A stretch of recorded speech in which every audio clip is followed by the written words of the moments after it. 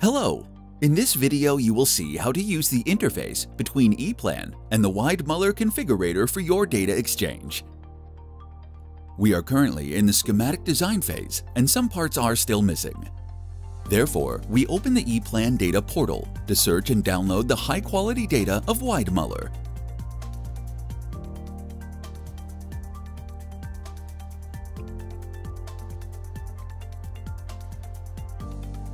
Once the design is complete, we look at the terminal strip navigator.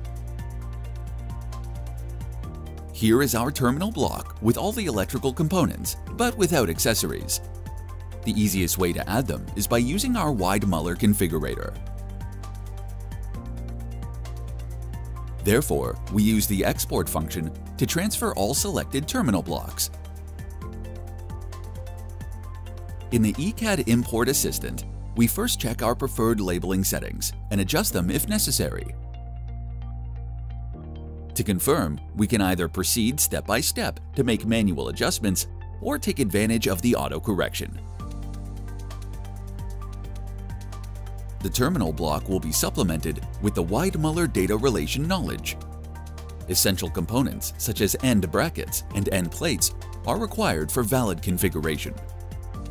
The Weidmuller configurator also provides additional accessories, such as markers and jumpers. And one little hint, you don't have to work with Weidmuller manufacturer part numbers, but you can also map specific customer part numbers. Finally, we export the terminal block back to ePlan. All the additional data is now available in our ePlan project. To see the results, open the terminal strip definition our terminal block is now complete.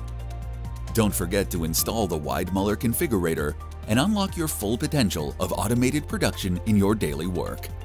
Thank you for watching.